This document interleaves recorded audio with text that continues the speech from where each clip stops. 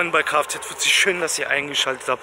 Heute war ich auf dem Weg nach Dortmund und ich habe mir gesagt, ey, mein Quattro hat kein Benzin mehr. Nimm ich doch meine S-Klasse mit. Verbraucht ja so wenig 500er anstatt 1.8T. Heute haben wir lächerliche minus 2 Grad. Darum habe ich auch meine Frühlingsklamotten angezogen. Was war das hier? Minus 20 Grad. Es war schlimm. Was machen wir heute? Worum geht es eigentlich heute?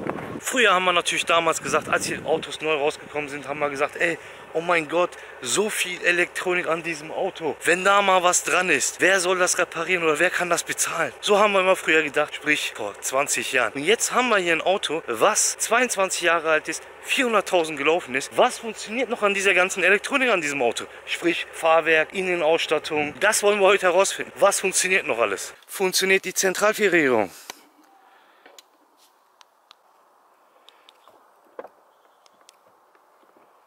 Funktioniert.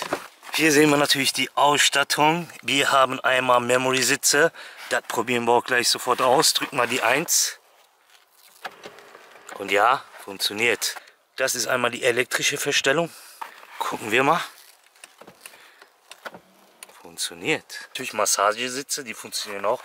Bei der S-Klasse hier ist immer ein bisschen unschön. Oh, da sieht ihr erstmal mal die ganzen Elektrik, die ganzen Schläuche. Hier Luftschläuche für die Massagesitze und so. So, elektrische Fenster. Natürlich. Wir haben einmal Schiebedach. Ich glaube, Schiebedach wird auch höchstwahrscheinlich eingefroren sein, aber wir probieren es ganz leicht. Ja. Ja, also funktioniert schon, aber nicht so gut. Da möchte ich jetzt auch nichts kaputt machen, aber funktioniert. Das System bei diesem Modell funktioniert. Wir haben Radio, wir haben Telefon, wir haben, ja, Tape ist das hier, wer es nicht kennt. Oldschool, Kassette, finde ich, feiere ich. TV haben wir, aber funktioniert natürlich nicht. Dann haben wir Navi, also Navi funktioniert auf jeden Fall, das weiß ich. Warum? Weil ich die Navi-CD von hier in meine ML reingetan habe, damit ich beim ML mal testen kann, ob mein Navi funktioniert. Wir haben einmal Bose-Anlage. Bose-Anlage funktioniert auch. GEMA lässt grüßen. Einmal die Kopfstützen, die wir elektrisch nach oben, nach unten machen können. Dann haben wir Heckroller.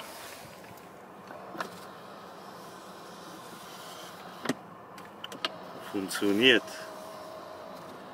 Dann haben wir hier Zentralvierierung. Funktioniert das?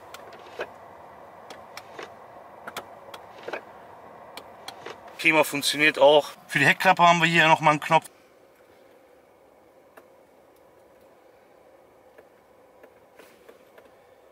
Bei der ganzen Schaltung hier ist irgendwas kaputt oder Kabel hoch. Also da müsste ich mir nochmal anschauen. Weil einklappbare Spiele haben auch funktioniert, das weiß ich ganz genau. Da habe ich das sogar bei Wetterlabe probiert.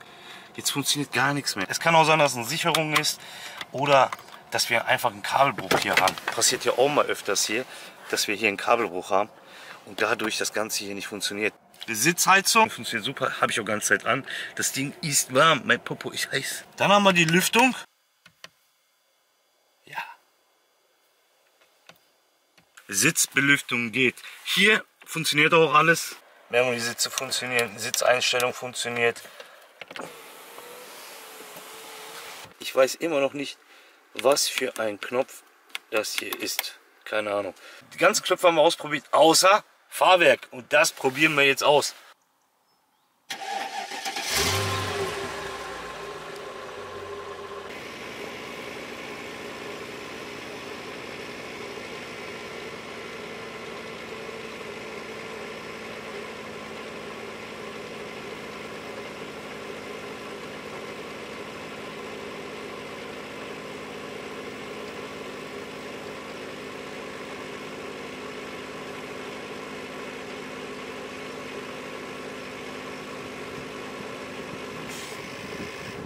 Wie ihr gesehen habt, funktioniert Fahrwerk immer noch. Wir haben natürlich hier einen 500er verbaut, M113, 400.000 gelaufen. Das Ding läuft. Und vorne haben wir, ich glaube, ich sag mal mal, Spannrolle kaputt, Wasserpumpe kaputt, aber das reparieren wir noch. Softclose haben wir nicht, also stimmt nicht ganz, weil wir Softclose doch haben, aber eine Heckklappe. Funktioniert auch noch einmal. Jetzt sitzen wir hinten. Hier haben wir nur Sitzheizung, Stufe 2, Stufe 1. Langvision, der ist ja länger, haben wir also elektrische Sitze und die natürlich funktionieren. Oh.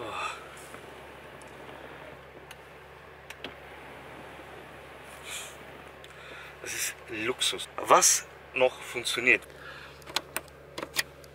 Mit LED. Hm. Guck mal, wie Aschenbecher aufgeht. Geil. Hier haben wir Zirettenanzünder, was natürlich auch noch funktioniert. Funktioniert noch. So. Oh, schön warm geworden. Und wie viel Platz wir haben, achtet mal nach vorne. Das ist schon Hammer. Also ihr müsst echt ein Fernglas nehmen nach vorne. Das funktioniert natürlich auch. Zack. Zack. Hier haben wir auch noch auf. Haben wir das ganze Mercedes-Heft. Und auch noch sehr gut. Bei 400.000 muss man auch sagen, schöne Grüße an Wetterlabel hat das Auto natürlich gepflegt und gehegt. Das merkt man auch, weil die Ledersitze richtig schön sind. Also Beifahrer hinten haben wir noch ein Special. Warum? Wird ihr auch gleich merken. Auch elektrische Sitze, funktioniert auch. Kommt nach vorne. Hier haben wir nochmal einen Knopf. Dann machen wir den nach vorne und dann achtet mal, was hier passiert. Ihr könnt den einstellen, wie ihr wollt.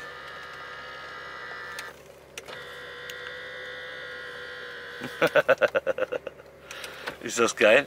Also ich sage euch, das sind locker 75 cm.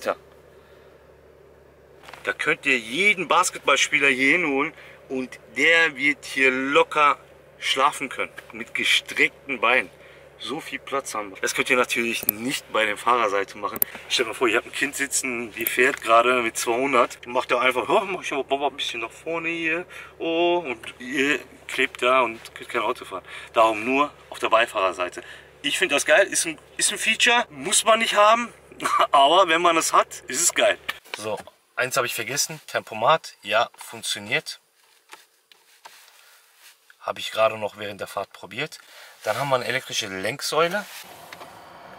Funktioniert auch.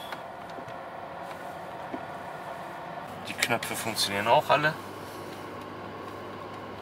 Bei der Innenausstattung funktioniert alles einwandfrei. Der hat ja auch noch Parktronic. Das schauen wir uns auch mal an. Funktioniert. 400.000 gelaufen. Baujahr 99. Zu 90% funktioniert alles. Was bei Mercedes natürlich ein bisschen schade finde und was auch jeder Mercedes-Fahrer bezeugen kann, das sind solche unschönen Sachen. Na, hier, das geht mal kaputt. Oder hier, das geht kaputt. Oder das hier lässt sich nicht mehr so gut öffnen. Das lässt sich nicht mehr so gut öffnen. Das sind so Kleinigkeiten, was aber auch schnell gemacht ist. Rost und so, das interessiert keinen. Was nützt ihr, wenn ihr so ein Auto kauft, was kein Rost hat, sage ich mal. Auch TÜV hat und so. Aber alles, was mit der Elektronik zu tun hat, kaputt ist. Und das wäre nicht schön, weil egal was ihr bei diesem Auto fertig machen müsst an Elektronik, das ist immer sehr, sehr teuer. Dankeschön fürs Zuschauen. Bleibt gesund. Euer Kfz bis dann. Haut rein. Ciao. Eins habe ich natürlich vergessen. Funktioniert die ESB-Taste? Das müssen wir natürlich ausprobieren. So, im Tacho brennt die schon mal. Und jetzt müssen wir mal schauen. Und jetzt müssen wir natürlich schauen, ob wir auch durchdrehende Reifen bekommen. Oh ja, oh ja, das geht. Oh ja. Geil. Ich muss es ausprobieren. Gehört zum Video dazu.